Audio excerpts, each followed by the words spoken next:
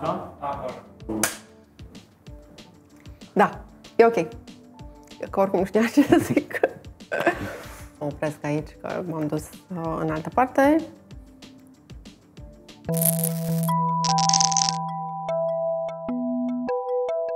Bună, eu sunt Delia și mă bucur să fiu gazda ta Anemag Backstage, locul în care vrem să-ți prezentăm cum e viața Anemag. O să am invitați uh, mai mulți colegi din organizație care o să-ți povestească despre ei și mă bucur să îl am astăzi invitat pe Robi Berza, care este GM Fashion Days și VP EMAG Fashion and Sport. Bună, Robi! Bună, mersi de invitație! Cu drag, cu drag! Spunem care a fost viața ta înainte de EMAG, uh, cariera ta, să zicem, profesională. Au fost 10 ani de media, aș spune, puțin mai mult de 10 ani împărțiți în două. Uh, o parte relativ scurtă și extrem de dinamică în echipa lui Tolontan pe la Gazda Sporturilor și ProSport și vreo 9 ani în ProTV, uh, unde am pornit, uh, apropo de legătura cu presa dinainte, în zona de PR și marketing pentru știrile ProTV și canalul de sport. Uh, și am ajuns să lansez împreună cu uh, o echipă destul de vioaie uh, toate site-urile ProTV-ului cunoscute de azi, de la protv.ro, știrile protv.ro, sport.ro și eventual Voio. Odată cu acest departament am ajuns și la headquarter de la Praga, unde am coordonat toate echipele de internet ale televiziunilor din grup, până când S-a schimbat ceva. S-a schimbat ceva, a venit în viața mea uh, un copil, au fost și niște planuri în companie și s-au suprapus atât de bine încât mi-am permis să-mi iau un sabatic. Uh, wink, wink, uh, e bine în viață să ții un sabatic, probabil pe la 10 ani am fost norocos să reușesc asta. Uh, și după acest sabatic uh, am început aventura cu EMAG. Uh, aventură care a început uh, Uh, țin minte, uh, pe lângă niște discuții în prealabil pe care le-am avut, uh, unul din lucrurile pe care le mai povestesc cu oamenilor și cred că e, e, e un cadru bun să-l povestesc și acum, am intrat în EMAG la o invitație de lui Ilian Stanciu în care a spus nu știm exact pentru ce rol te aducem, o să aflăm în următoarele săptămâni și îți spunem, dar știm că vrem să vii aici. Este genul de salt pe care uh, poate puțini îl fac, dar este mai din uh, suflet, mai onest, mai transparent uh, decât să ai un uh, job description foarte lung. Uh, eu atunci, în paralel, aveam uh, o altă oportunitate la o companie destul de mare, cu plecat, uh, plecat din străinătate, care era, evident, uh, tot procesul mult mai curat, mult mai uh, structurat. structurat a la corporate. Am ales să vin într-un loc unde am simțit că e bine, la o invitație deschisă a unor oameni care te vor partea echipei și gata să-ți găsească un rol atât de bun odată cu trecerea timpului, poate nu din prima, decât să aleg ceva care poate era perfect fit în prima fază, dar poate cultura corporației nu mi era... Uh-huh. Și ți minte că am, noi am venit cam în aceeași perioadă, acum uh-huh. șase ani, uh-huh. nu? Și știți minte că în primul an ai făcut mult business development. Erați tu și Bogdan într-o echipă de doi oameni, nu? Mm-hmm, da.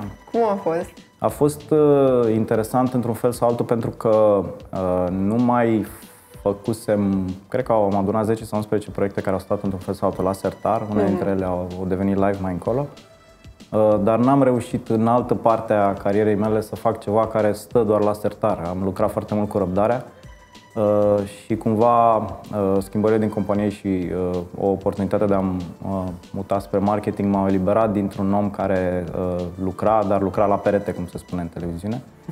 Uh, și am ajuns uh, în marketing unde uh, deja ciclul este de 24 de ore, uh, rezultatul zilei, dashboard-uri, rezultate și am intrat într-o altă dinamică unde uh, și eu m-am simțit puțin mai bine obișnuit și din televiziune unde iarăși rezultatele sunt la zi. După marketing, uh, după marketing ajuns în fashion?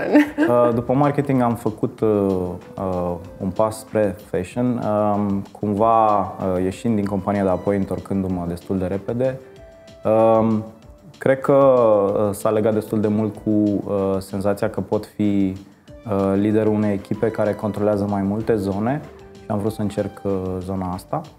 Uh, și uh, am primit încredere uh, din interiorul echipei de aici să uh, iau o echipă foarte valoroasă cum e cea de la Fashion Days într-un moment uh, foarte complicat cum era atunci pentru că modelul de business încă nu era validat, uh, nu eram încă un business profitabil și încrederea asta și echipa m-au ajutat să trec de niște ani grei, de un proces de integrare care s-a terminat, aș zice, cu succes și care ne-a dus la obiectivul inițial de a valida modelul de business, că poți face bani în e-commerce în fashion, poți fi profitabil, poți crește și poți fi un player relevant în piață, lucru care cred că se văd cu Fashion Days în ultimii ani.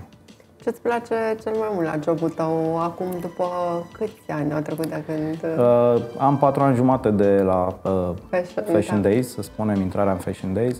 Uh, în continuare aș zice că cel mai mult îmi place uh, energia echipei. Oamenii sunt uh, absolut înnebuniți unii dintre ei apropo de ce fac, uh, mai ales cei din uh, zona de comercial și marketing îi vezi că uh, se duc în niște detalii foarte absurde aproape la nivel de produs. Da, e o pasiune e pentru... o pasiune. Evident, sunt foarte multe fete care fac buying, care cumpără marfa pe care o, uh, o punem la vânzare către clienți Uh, unele dintre ele sunt uh, ca fanii echipelor de fotbal. Eu sunt uh, fan Liverpool și știu uh, genul ăsta de pasiune, dar uh, asta e pentru weekend. Uh, unele dintre fete sunt uh, fix ca un uh, microbist. Uh, țin la brandul lor uh, uh, ca la o parte a familiei, iar asta uh, iarăși îți dă încredere că oamenii au să intre prin pereți pentru Uh, a face bine. Acum mă gândeam dacă cineva, eu sigur, acum 20 de ani, dacă mai fi zis de fashion, mi-ar fi plăcut să mă angajez în fashion, ce, ce ai recomandat cuiva care vrea să intre în domeniul ăsta de fashion la început? Ca să o dau de la rece la cal sau invers, aș zice că trebuie să știe Excel. uh, uh, unul din lucrurile, iarăși, foarte interesante, că mai discut cu oameni care mă întreabă, ok, și oamenii ăștia de la comercial ai tăi ce fac acolo? Păi, în primul rând, foarte, foarte mult Excel. E adevărat că știu produsul, Uh, știu care sunt trendurile, dar uh, a alege o uh, bluză în detrimentul alteia sau în fine 100 de bluze dintr-un catalog de 300 ține de flair și de informații și de knowledge pe care l-ai, dar în același timp în spate e o întreagă matematică, câte bucăți, pe ce măsuri, ce când să vrei. le aduci, exact, ce stoc, că riști mai mult stoc acum și poate rămâi cu el sau iei mai puțin să fii safe, dar îl vinzi prea repede, e clar că ai pierdut sales, deci e uh, un mix între uh, partea glam, pe care cu siguranță uh, fetele o văd și o apreciază, dar și uh, munca al naibii de grea, uh, un șpagat între diferite celule din Excel. Uh, această muncă devine mai complicată cu cât noi punem mai multe coloane. Uh, țin mintea cu patru ani când am intrat în echipă, aveam o groază de informații, dar poate nu erau atât de structurate. Uh, foarte multele uh, date de la uh, BI, echipa de Business noastră de Intelligence. Business Intelligence, care îmi dă foarte multe insight-uri, ne-au ajutat să structurăm mult mai bine informația, să ne luăm mai multe informații. Și acum deciziile pe care oamenii le iau on a daily basis sunt fundamentate pe mult mai multe date decât acum câțiva ani de zile. De aceea și suntem și încrezători mult mai mult în viitor. Cred că asta a fost una dintre muncile cele mai grele pe care le-am făcut în echipă. Ne doream să fim data-driven, toată lumea vorbește despre chestia asta. Probabil uh-huh. foarte multe companii stau pe o căruță de date, însă modul în care le structurezi și iterezi genul ăsta de rapoarte uh, poate să-ți dea calitatea insight-urilor. Uh, eu recunosc că suntem mult mai luminați, uh, ne e mult mai ușor inclusiv pentru colegii noi care vin în echipă să integrăm astăzi decât acum patru ani de zile. Pe de altă parte, cantitatea de informații pe care uh, le punem în brațe oamenilor ăstora uh, e fundamental mai mare decât acum câțiva ani. Deci s-ar putea mai degrabă să-mi fac brandul meu și să mă bă, lansez pe Remain in Corner, S-ar nu? putea, dar uh, evident uh, acolo vei începe tot plecând de la niște materiale și trenduri și o să fie ceva uh, shiny și frumos. Tot trebuie să fac un Dar la un PNL. moment dat vei, vei dori să crești și tot în Excel vei ajunge. Zi-mi un pic de Romanian Corner. Nu e scopul să facem neapărat reclamă, dar e un proiect care mie îmi place super, super mult și e foarte mișto și nu știu, cred că mai putem vorbi de el, nu cred că știe toată, toată lumea. Da, în momentul de față avem peste 100 de branduri uh, de designer uh, români. Uh, E un proiect care a început uh, acum un an jumătate, imediat după pandemie. Ne-am dat seama că mulți dintre ei sunt dependenți de un singur showroom, poate, sau uh, în parteneria cu un magazin sau două.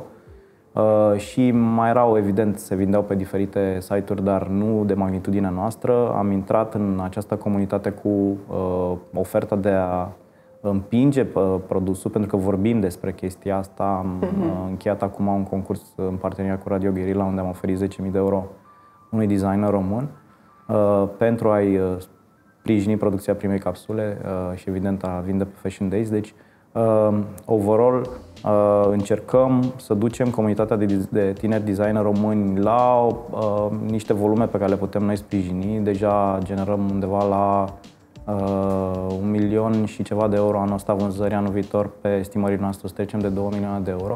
Wow. Uh, considerând că, de fapt, uh, oamenii ăștia au o grază de talent, uh, lucrurile uh, care le lipsesc probabil sunt uh, uh, chestii legate de finanțare, cu siguranță Uh, unii dintre ei ar risca uh, poate mai mult, dar poate nu se bazează pe niște uh, canale de vânzare, de aceea noi venim și le spunem, hei, uite, datele arată că poți crește, poate ai mai mult curaj să bagi mai mulți bani în stoc într-o varietate mai mare de produse pentru că vei vinde și noi suntem alături de tine.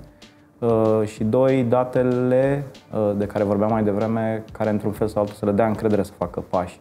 Sunt foarte mulți uh, designeri local talentați sunt foarte multe business-uri mici și medii care ar putea crește. În jur ne uităm la uh, copiile H&M-ului. Uh, avem copii turcești, copii poloneze, copii, uh, alte copii suedeze.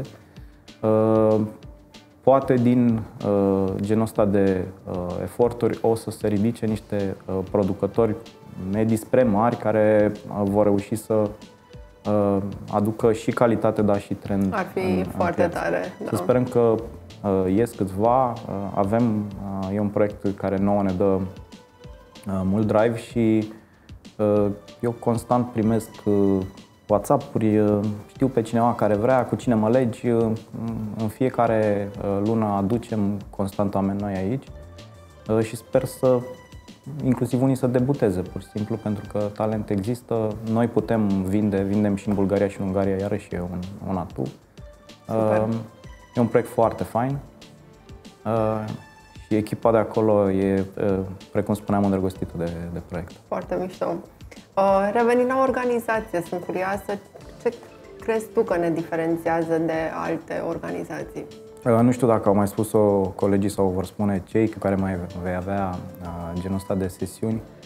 Uh, sper să nu mă repet, dar pentru mine uh, cel mai important lucru este că aici setezi agenda, Uh, sunt foarte multe uh, corporații care aduc knowledge din străinătate aici și în care, evident, poți să crești ca om, dar în general agenda este setată la Berlin sau la Paris sau la Londra, Amsterdam, etc. Noi, deși facem parte dintr-o companie foarte mare, cum uh, este Prosus, în realitate ei ne lasă un framework, iar agenda de dezvoltare, proiectele pe care le construim sau le achiziționăm, cum se vede TAS, de exemplu, Uh, sau semn de în trecut. Ne dau, uh, deci framework-ul ăsta este un framework financiar în realitate, hei, aveți aceste ținte, uh, cum ajungeți la el e pur și simplu libertatea voastră, ceea ce e unul dintre, cred că, puținele aturi cu care se mai pot lăuda alte companii mari, cu siguranță sunt câteva în România, dar sunt puține. Uh, sunt foarte multe companii mici și medii care fac asta, dar la magnitudinea uh, unor miliarde de dolari, să zicem, pe an în vânzare, uh, sunt companii pe care le numeri pe degete. Absolut. Noi tot timpul zicem că suntem o, o multinațională cu headquarter în România. Adică exact. aici decidem, aici gândim, facem design de proiecte. Cumva sunt puțin mai entuziasmat nu numai de acest cadru, ci de rezultatul pe care îl aduce la nivel de cultură. Uh, tinde să atragă uh, oameni care vor să construiască. Uh, noi iarăși am povestit de-a lungul timpului de intraprenori, acest cuvânt inventat un fel de antreprenor intern. Vrei genul de om care ar putea fi antreprenor, dar încă nu a făcut acest pas, dar are tip, tipul ăsta de drive, da? și vrea să fie intern. Rezultatul acestei strategii aduce această tipologie de oameni care sunt uh, oameni nu numai cu un IQ cât casa, dar uh, și cu uh, un drive uh, foarte, foarte mare și atunci iarăși se vede în încrederea de a lucra împreună uh, că poți face toate lucrurile uh, pe care ți le propui. Absolut. Zim de tine, ce pasiune ai? Știu câteva, dar um, chiar mi-ar plăcea să ne povestești. Și în pandemie acum uh, sunt niște lucruri pe care le simți mai puternic ca pasiune pentru că ți-e dor de ele. Da. De-a lungul timpului uh, am investit timp uh, și bani în uh, concerte, uh, mai mult uh, rock, evident, mers la toate festivalurile, dar la foarte multe concerte. Uh, la fel dus după Liverpool prin, prin lume și mers pe pârtie. Astea sunt lucrurile care îmi lipsesc cel mai mult și pentru că, întâmplător sau nu, concertele și meciurile au fost uh, o perioadă cam ascunse. Da. Iar pe pârtii a fost mai greu, mai ales cu am mers în Austria, să spunem, unde mergem destul de des pe ghețar. Ăsta îmi lipsesc. În afara lor sunt prietenii, evident, și familia. Petrecem timp împreună, ori, nu știu, la mare undeva, dar mai ales la munte sau pe la concerte prin festivaluri. E genul de uh, echilibru care pe mine mă ajută. Sunt genul de om care și-a foarte multă energie uh, de la oamenii din jur, uh, atât la job, cât și împreună cu prietenii sau familia, atât pur și simplu uh, unii lângă alții acasă sau pe terasă, dar și pe, pe un stadion. Revenind la EMAG, dacă ar fi să schimbi ceva, foarte sincer, ce ai schimba? Uh, iarăși e un lucru minunat care îmi place la EMA, că se gândește foarte mult long term și uh, uneori ne, ne luăm poate la mișto între noi, că facem și uh, planuri pe 10 ani de zile, știind că exercițiul e util, pe de altă parte e foarte clar că uh, oricât de util e, uh, va fi foarte greu să te ții de un plan de 10 ani. Uh, lucru pe care l-aș schimba este că în, uh, pe de-o parte, MAG, uh, ca și grup, are genul ăsta de viziune pe termen lung și genul de răbdare uh, pe termen lung, Uh, însă în același timp are o nerăbdare uh, aproape acută de a vedea rezultate uh, foarte repede ale unor proiecte care au pornit. Și aici, cumva, cred că e un echilibru pe care poate simt eu că nu l-am atins. Mergem extrem de mult long term și ne dezvoltăm răbdarea, dar ne exersăm nerăbdarea la fel de des și cred că trebuie să mai găsim puțin echilibru aici. Suntem un pic... Sigur, drive-ul uh, ne împinge în da. zona asta. O, o echipă cu un drive atât de mare își dorește uh, creștere, își dorește da. uh, beneficii către clienți să se vadă, clienții să uh, da. fie fericiți mult mai repede. Dacă știi că un produs e bun și un proiect e bun, nu vine să stai un an jumate. Băi, eu știu că, uite, EasyBox-urile, locările sunt ceva formidabil pentru oameni. De ce nu, uh, nu știu, le-am lansat acum la Ciorogârla, de ce nu avem adopție acolo? Pentru că avem în toate celelalte uh, orașe în care le-am lansat noi știm că va veni și acolo, dar uh, nerăbdarea uh, Absolut. vine din acest drive. Uh, cumva n-aș schimba drive-ul, dar aș schimba puțin din nerăbdarea asta. Da. Ce te entuziasmează în perioada asta și poți să ne povestești? Sunt curioasă. Aș zice că Iarăși unul dintre exercițiile complicate pe care le facem acum este ceea ce se numește forecastarea. Într-un context în care sunt atât de mulți factori externi, astăzi Uh, suntem încă, uh, oricând va fi difuzat acest episod, într-o perioadă de pandemie. Noi toți, uh, oamenii din zona de business, ne raportăm foarte mult la creșteri față de anul trecut, față de aceeași perioadă a lunii trecute. Genul ăsta de forecastări au devenit aproape un coșmar. Nu pentru că uneori nu ai rezultate bune, ci pentru că modul în care aceste rezultate se adună uneori poate să însemne că ai greșit grav într-o lună și ai făcut formidabil în alta, fără să înțelegi cât de mult este efectul planurilor tale și cât de mult uh, sunt uh, factori externi care influențează. Asta este genul de problemă care mă entuziasmează, uh, în sensul în care cu siguranță uh, ai dat de cap genul ăsta de uh, probleme, o să ne ajute și pe noi, atât în echipa de fashion cât și în celelalte echipe. Și relațiile cu uh, absolut uh, toate canalele de comunicare sau alt, absolut toți partenerii cu care lucrezi. Sunt uh, luni în care mobilitatea oamenilor arată că e clar nu au prea mult chef de retail. Uh, și atunci, da, îi vânesc pe mobile, dar uh, nu au chef de retail, sunt în Grecia, nu o să-ți cumpere ție haine de pe Fashion Days în România, dar pe de altă parte e bine să-i uh, aduci, sunt tot felul de variabile la care te tot joci. Uh, pe lângă mobilitatea asta ai, nu știu, prețul materiilor prime care crește, e clar că lucrurile o să scumpească inflația, uh, o să uh, lovească peste toate astea, noi punem valori de stoc, branduri noi, număr de clienți, tot felul de servicii pe care le-am pus uneori aproape că ne dăm premii interne pentru cei care au o, o margine de eroare foarte da, mică de da, un absolut. procent sau două. E genul de problemă uh, complexă. Entuziasmul tău mă exact. fascinează, dar Da, okay. e, e, e, genul, e genul de problemă care uh, nu merge nu atât de ușor pe toată lumea. în orice frază cuvântul zic. entuziasm. Da. da. Zim ca ultimă întrebare, uh, care e un proiect, un ultim proiect de care ești uh, foarte mândru, poate unul către clienți? Uh, aș zice că dacă tot povestim de un întreg ciclu aici, aș zice că sunt foarte mândru de Mac Genius. E un proiect uh, din cele uh, pe care le-am făcut la Sertar atunci, în prima parte a da. experienței da. mele cu EMAG, care a ajuns să fie live uh, aproape 5 ani mai târziu și e unul dintre cele mai importante motoare de creștere ale grupului. atât prin venituri, dar mai ales prin experiența clienților. Vedem clienții Genius comandă mai mult, au un scor al satisfacției mult crescut, au adoptat toate serviciile cool pe care ne le-am construit, mai ales livrarea în locker, returul foarte rapid în locker, acum în zona de fashion și buy now, pay later. Este genul de bulgăre de zăpadă care tot, tot crește și sunt mândru nu doar pentru că am ajutat la început la el, ci pentru că este genul de proiect multi-echipă. Habar n-am, dar sigur sute de oameni au lucrat uh, da, în, constant în zona oamenilor cu Excel-ul și prezentărilor, nu mai zic de zecile de... Produs tehnic. Uh, da, uh, nu mai zic de miile și zecile mii de colegi din logistică și zecile de mii de livrări în fiecare uh, zi, săptămână care sunt sub această umbrelă. Deci cumva este genul de proiect mamut de care sunt mândru că e live and kicking. Mulțumesc mult, Robi, uh, că ai venit astăzi și că ne-ai prezentat toate lucrurile astea. Mulțumesc și eu.